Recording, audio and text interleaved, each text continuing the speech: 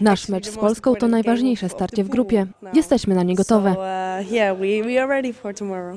Oczywiście oglądałyśmy już filmy ze spotkaniami waszego zespołu, więc znamy najgroźniejsze zawodniczki i styl, w jakim gracie. Na kogo powinnyście zwracać największą uwagę? Na kudłacz czy może kogoś innego? Tak, to jedna z waszych najlepszych piłkarek, ale myślę, że macie wiele dobrych zawodniczek.